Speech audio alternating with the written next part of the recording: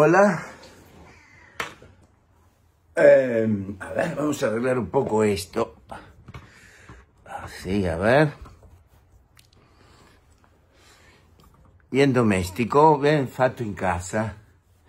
Eh, precisamente quería... Ah, tengo muchas cosas que hablarle y unas cosas que me interesaba hablarle, pero lo voy a posponer por razones totalmente egotistas. Es que um, una curiosa reciente proliferación de estrenos de films italianos, eh, cuando hace tiempo que muchos no circulaban, y um, dos de origen calabrés, uh, que por lo que hemos visto regresan a lo peor, esto es todo, el neorealismo.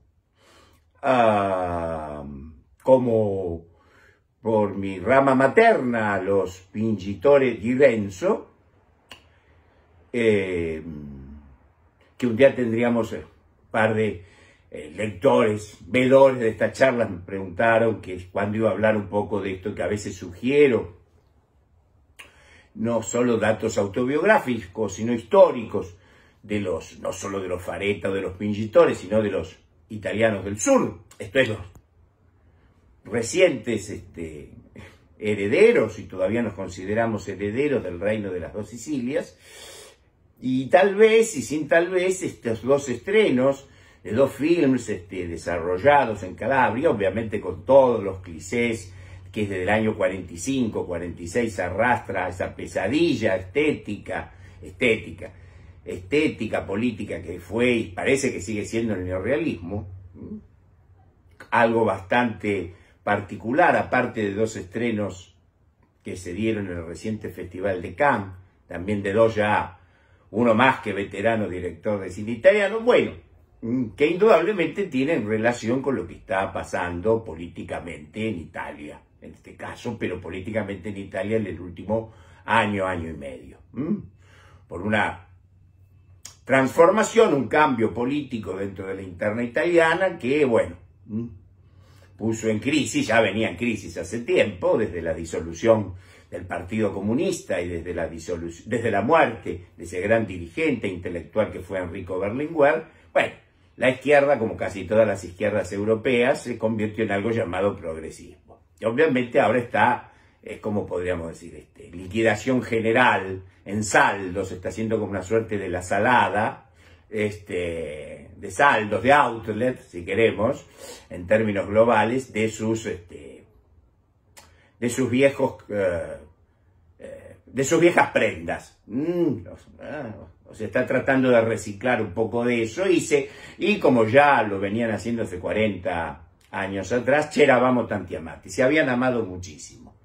Este, eso sí, se amaron mucho, no hicieron nada, este, pero este, se amaron muchísimo. Mm, algo parecido con, un día lo tendríamos que contar, con una vieja película norteamericana ya llamada Reds, del idiota de Warren Beatty, mm, que es un gran crítico norteamericano, que los hay, son poquísimos, son los últimos de entender el cine de su propio país, porque ya saben un poco por nuestra teoría del cine, ¿no? Pues está hecho en contra. Pero este era de Boston, quiero recordarlo, Stephen Schiff, crítico del Boston Phoenix, y que me acuerdo que charlamos este, en público, en la Cinemateca, ahí en el Ya, en la Sarmiento, y um, sobre Reds, que ambos nos había parecido una porquería. Y él dijo ahí que era una película comi chic, o sea, bolche chic. Mm, creo que esto sería año... Bueno, pero fue una de las primeras veces que oí hablar de esto, que es bolche chic, comi chic. Mm, y lo que decía, eh, finalmente terminé hablando de esto. Bueno, como sea. Y lo que decía es que la película sugería, incluso por, por, por, por por la vanidad, el narcisismo de su protagonista, el insufrible de Diane Keaton también, ¿no? Que en realidad había sido, era, donde les decía en los años 70, qué hermosos que fuimos, qué interesantes, qué bohemios, ¿no? Qué elegantes, qué sofisticados, qué mundanos. Eso sí, no hicimos nada. Pero del otro lado, decía Stephen Schiff, ¿eh? le preguntaban, ¿no? En esa suerte de intercambio, de ese estado de recepción, como dicen ciertos críticos alemanes pero no lo van a intentar más. No, no, para nada. Pero nos admiten que qué lindos que éramos, ¿no? Qué nice que éramos, ¿no? Ah, sí, sí, sí, eso se lo admitimos, pero no lo intentan más. No, no, seguro. Así que cambiando lo que haya que cambiar, esta situación es la que sucede, pasa, atraviesa, padece este, ciertas izquierdas europeas, italiana, española, francesa, pero me voy a ocupar, por razones de todos conocidos, de herencia milenaria de lo que pasa en Italia. Pero bueno, parece que hice un prólogo demasiado extenso con esto, Fareta, que no tenías que hablar de esto. Mm, pero bueno, hice un adelanto. Así que algo más contemporáneo porque estos dos bodrios están este, en cartel. Uno de ellos, por cierto, eh, eh, por un director nacido en Calabria, ¿no? Que había hecho una muy buena película. Me refiero al mismo Calopresti, un típico apellido este, calabrés, como lo dice su partícula Calo. Esto es bello en griego, como suelen ser todos nuestros apellidos de la Magna Grecia. Que había hecho incluso una, hace 30 años atrás, una película que rozaba la obra, la obra maestra, que era Preferisco il rumore del mare ¿eh? un poema, un verso de Dino Campana. ¿eh? Una película también de tema, que es un poco autobiográfico, porque son estos calabreses que ahora se fueron a vivir a Torino. Me parece espléndido que se vayan a vivir a Torino, que se vayan a vivir donde cazzo quieran. Pero luego, desde allí, hacen, no sé el primero, crean una visión de sus orígenes, de su lar natal, ¿eh? hecha a, a, ad usum de ese lugar. No solo de Torino este, y de la familia Agnelli y de la Fiat, aunque ahora parece que está en manos bastante francesas, eh, dicho por uno de sus antiguos dirigentes. Eh, pobre Italia, pobre Italia.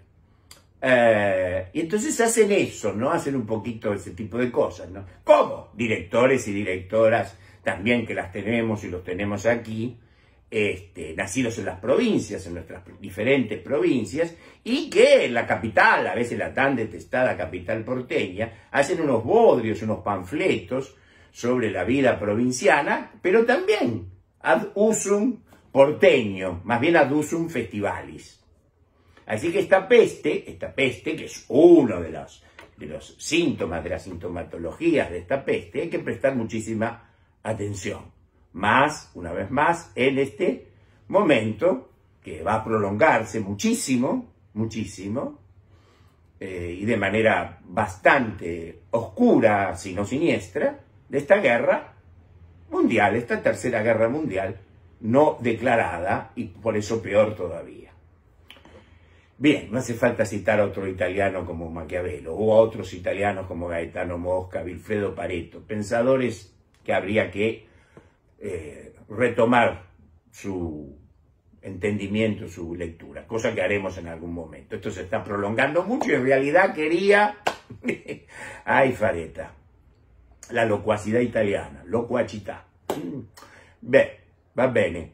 Mm, para recomendarles el seminario que empieza en julio, el mes que viene, los miércoles, a las 18 horas, 6 de la tarde, hora argentina, que va a tratar, nos centraremos en Drácula, Bram Stoker, esto es la novela Drácula de Bram Stoker, pero también y sobre todo en el mitologema del vampiro y de lo vampírico. O sea que vamos a hacer como un eje, un axis alrededor de, de la novela, la maravillosa, extraordinaria, una de las 10, 20 novelas más extraordinarias obras maestras totales que se han escrito, que es el Drácula de Bram Stoker, pero y también sobre o alrededor del mitologema del vampiro, sus orígenes, variantes, etc. No solo variantes este, eh, narrativas, sino narrativas fílmicas, de cine, y también poéticas, cosa que los que han leído eh, nuestro libro La traducción de la melancolía, así como también dominio eminente, ahí hablamos o mencionamos, analizamos también dos eh, o tres, bueno, dos poemas de dos poetas extraordinarios, como Baudelaire y Lafort, que también poetizaron sobre el mitologema del vampiro. Bueno, Fareta es domingo, se casa Peringo este, y se te va a enfriar el mate. ¿eh? Así que bueno, ah, no nos calentemos por otros temas. Prometo estas cosas que tiramos un poco a la Bartola, un poquito así, pero ustedes ya me conocen. ¿eh? Y al que no le guste, ustedes saben que la libertad es libre. O un infortunio, para seguir con simbolistas franceses, como decía Rambo. No tienen más que no verlo. ¿eh? Mm, así como yo ignoro por mi parte un montón de cosas que no me interesan o que directamente detesto. Bueno, nos vemos en otro momento. Voy a tratar de apagar esto ahora a la distancia. Mm, parece que esto no funciona.